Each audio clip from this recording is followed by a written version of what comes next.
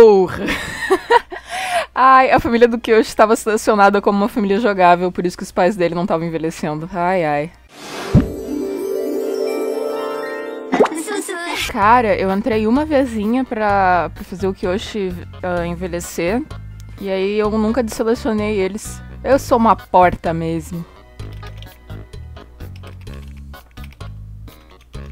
Sinto muito, mas todo mundo vai ficar idoso agora, pra combinar com a idade que o Kyoshi tem. Desculpa, Naoki. Você ainda é um velho gostosão e glamuroso. Hum, lá. E a Nanami finalmente vai deixar de ser adolescente e virar adulta. Parabéns. Agora eu vou desselecionar eles aqui para que eles possam morrer de morte morrida. Sem serem velhos e mortais. Pronto, me sinto melhor agora. Quê? Quê? Meu Deus! Gente, eu acabei de matar a mãe do Kyoshi. Mas como assim? Os dois pais do Kyoshi morreram. Que eu fiz?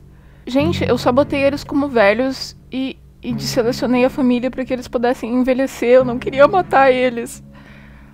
Caraca! Gente, me. Oh, eu nem sei como reagir a isso, honestamente. Eu tô só fazendo sons aqui. Ah, tô chocada, cara. Pronto, Cidinha já tinha perdido uma festa de aniversário, agora ela perdeu os dois avós que ela nem teve a chance de conhecer direito, porque eu não me dei esse trabalho.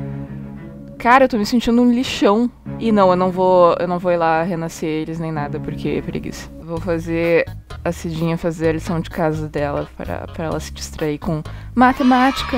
Por que, tá mal, Figueira? Ah, eu acho que a, ó, a Figueira tá com uma babinha verde.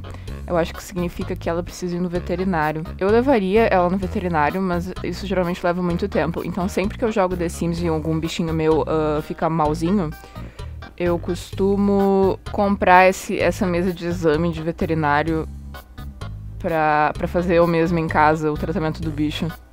Geralmente funciona mesmo os teus Sims não tendo habilidade de veterinária, então eu vou fazer o Kyoshi tratar da figueira. Cara, eu não tô acreditando que simplesmente assassinei os pais do Kyoshi. Cidinha já começou a infância sendo a criança mais infeliz de todo mundo. A cara do menino Kyoshi. Pá, cara. Ela tá pulguenta e fedida também, que, que doença horrível é essa. Mariposas na boca. Mariposas? Caraca. Baba incontrolável. O que mais eu posso examinar? Acho que o pelo. Ele vai ver que ela tá fedidita. Pronto, eu curei a figueira. Eu sou um gênio da veterinária. Ela ainda parece um pouco aflita. Cidinha chorando no chuveiro. Ah, tá foda essa Cidinha esses dias, né? Eu não me sinto nem um pouco culpada. Uh, vamos desenhar. A gente tem que desenhar duas figuras estando inspiradas. Ela não vai ficar inspirada em nenhum momento próximo, eu imagino. Vamos ficar trabalhando nessa habilidade de criatividade, então, por enquanto. O que, que tu tá desenhando, Cidinha? Nossa, que bonito. Mamãe vai botar na geladeira, tá?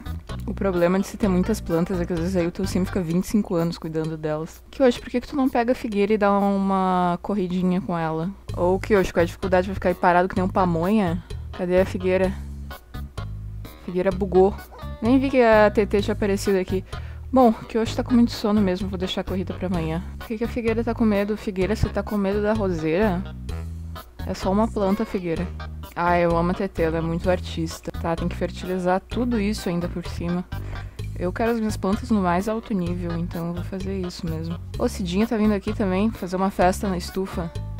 Ah, ela vai dar um abraço na Figueira. Oi, bebê Figueira! Ai, melhores amigas para sempre. Por que que tu não leva a Figueira pra passear? Na real, eu não sei se criança pode levar bicho pra... Acho que não droga. Ai, a Cidinha triste, segurando a Figueira, e a Figueira parece triste também.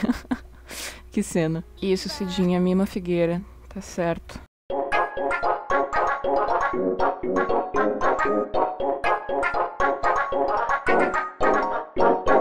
Cacilda tá no terceiro trimestre de gravidez, que significa que o Cacildo pode vir a qualquer momento. Ou a Cidinha 2, saberemos em seguida. Opa, Cidinha tá inspirada, vamos aproveitar para desenhar duas figuras, porque a aspiração dela pede.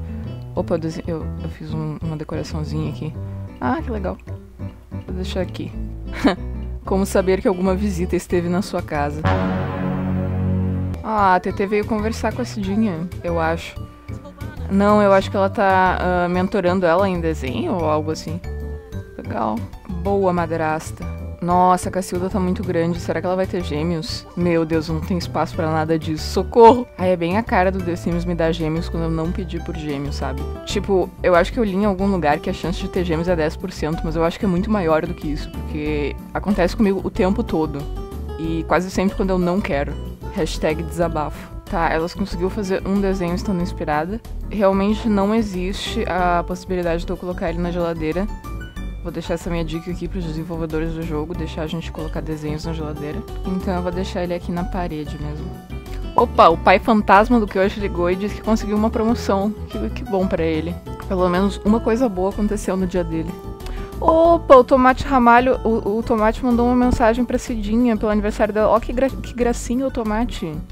A gente tem que, inclusive, uh, ir lá visitar ele, fazer um playdate versão criança. Que aí eles finalmente podem virar amigos de verdade, né? Tava meio difícil fazer isso quando eles eram bebês. E aí eu vou poder personalizar o tomate de novo para deixar ele mais parecido com ele mesmo. Cidinha conversando com um urso de pelúcia gigante, fofa ou esquizofrênica? Figueira, por que, que tu tá tão abalada? Tu tá triste que os pais do Kyoshi morreram também?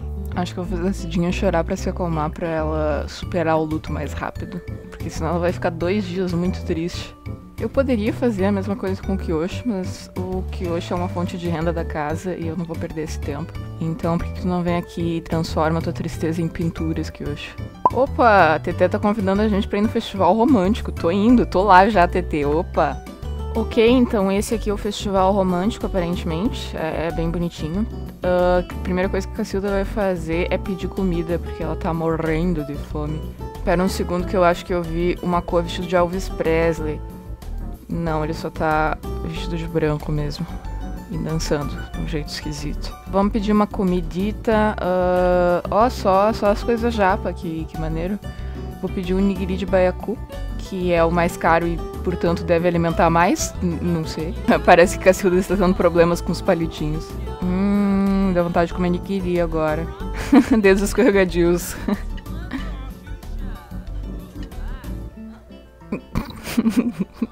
Cacilda comendo sushi com elegância de um hipopótamo bailarino. Tá, pelo menos deu pra matar a fome. Vamos tomar um, um chazinho de Sakura com a TT. Pra todo mundo ficar paqueradora e feliz. Hum, chazinho de Sakura. Agora é hora de paquerar a nossa musa TT. Depois, quem sabe, eu acho que isso aqui é um karaokê. Ah, não dá pra cantar com a TT, só dá pra cantar sozinho. Triste. As duas estão com o brilhozinho mágico da, da Sakura. Vamos jogar pétalas na TT. Opa, Legal demais. Todo mundo tristão em casa porque os pais do Kyoshi simplesmente morreram por minha culpa. E a Cacilda aqui traindo o marido dela com a namorada num festival super maneiro. Ai, a vida é muito injusta, não é mesmo? Tá, a Cacilda precisa muito no banheiro, senão ela vai ter um acidentezinho. O que, que é que é o banheiro feminino? Hã? O que, que é isso? Acho que eu nunca usei aquele vaso tecnológico. Ufa, a Cacilda conseguiu não fazer xixi no chão. Ó, oh, a TT cantando mal pra cacete, diga de passagem, e pensando na Cacilda. É a coisa mais fofa. Batendo papo, batendo papo no banheiro. Cara, eu acho que vão ser gêmeos. Estou devastada. Tá bom, meninas, foi legal, mas eu acho que tá na hora da Cacilda voltar pra casa, pra família dela. Mó legal esse festival, eu não costumo ir muito em festivais, achei, achei top. Cacilda ainda tá brilhando cor de rosa por causa do festival. Ué, Vlad, por que, que tu tá aqui? Bruh. Vlad veio chupar o pescocinho do Kyoshi. Kyoshi pintou uma obra-prima. Uau! Parabéns! Legal que agora que o Kyoshi tem uma cozinha completamente equipada, ele pode ele mesmo cozinhar aqui no, no quartinho dele. Pô, vou fazer a carajé. Nunca fiz a carajé. Vamos, vamos ver como é, qual é a do acarajé. Algum nordestino aí assistindo pode me dizer se isso aqui se parece remotamente com a carajé, porque para mim parece só uns tacos mesmo. Mas por mais que seja vergonhoso admitir, eu também não sei muito bem como é que é a carajé, então talvez eles se pareçam mesmo com tacos, vai saber.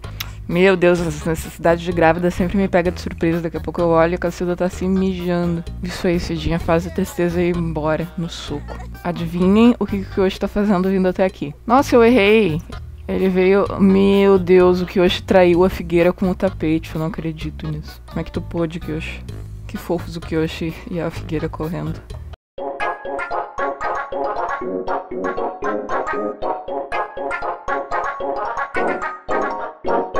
Tá, tô a fim de colocar uma coleira bonitinha na figueira. Vamos ver o que combina. Oh, meu Deus. Por favor, alguém me impeça imediatamente. É, infelizmente ninguém me impediu, então essa é, essa é a figueira agora. Ela tem um laço gigante na cabeça de nada, pessoal. E para passear ela vai ter uma coleirinha cor-de-rosa. Ah, nossa, eu fiz a guria chorar tanto que agora ela tá feliz. Coisa boa. É assim mesmo que funciona, pessoal. Cidinha Mouse, finalmente uma criança feliz comendo seu acarajé. Nossa, tá bem quente hoje. Vamos botar umas roupinhas de verão, então. Fofíssimo esse suspensório que eu botei em ti, criança. Por que, a Figueira sempre parece triste, cara? Ou, ou, ou, ou, ou não. Tá, que eu acho, desculpa, tu vai ter que acordar da tua sonequinha. Ei! Ei! Tá, uh, infelizmente estamos esperando nosso filho, né? Tá, chegamos no bebê ter o hospital. Não, não, pera. Eu sempre esqueço como é que se faz. Eu acho que não tem que fazer nada, né? Só tem que ficar parado e daqui a pouco a Cacilda põe uma roupinha de hospital e vai lá ter o bebê. Como um bom pai, o Kyoshi tá só surtando mesmo. Ele não tá fazendo nada de útil. E a Cacilda tá muito suave aqui na máquina, nessa, nessa atrocidade aqui. Imagina ter que entrar numa merda dessas pra ter um filho. É uma lata de sardinha com uns bagulho para te cutucar nas pontas. Isso aqui é uma batedeira? Ó, oh, é um menino, bem como a gente queria. Cacildo... Não. Pensando bem, eu acho que eu vou fazer uma homenagem ao Kyoshi para esse nosso bebê, que nem a Cidinha, uma versão miniatura da Cacilda. O nosso menino vai, vai se chamar Yoshi. Oh, Yoshi! Yoshi Clifford. Nosso bebezinho. No fim não eram gêmeos. Fico muito feliz. Vamos colocar esse bebê no bolso e ir pra casa. Isso, Cacilda, põe ele no bolso. Ok, temos o nosso bebê, que foi realocado uh, pro quarto da Cidinha, por alguma razão. Eu vou ver alguma localização melhor para ele. Infelizmente, eu acho que não temos nenhuma, para falar a verdade. Tá, o bebê vai ficar aqui por enquanto, porque eu simplesmente não achei nenhum outro lugar melhor para ele. Vou pintar o carrinho de verde para combinar com a sala. Nossa, Cacilda recém é nível 3 da habilidade de criação, caramba. Ela não aprendeu absolutamente nada com a Cidinha, aparentemente. Deu tudo certo hoje, uh, tirando, claro, a morte trágica dos pais do Kyoshi, que, que descansem em paz. Mas tivemos nosso bebezinho, sem grandes complicações. Grandes complicações, no caso, seria ter tido gêmeos ou gêmeos acidentalmente. Mas tudo vai bem na residência Clifford. Agora a gente só precisa de uma nova residência Clifford para esse bebê, enfim, ter um quarto para ele existir. Nossa, tá tão quente que tá ondulando o cenário. Próximo episódio, provavelmente construção de uma nova casa. Ou não. Vamos ver.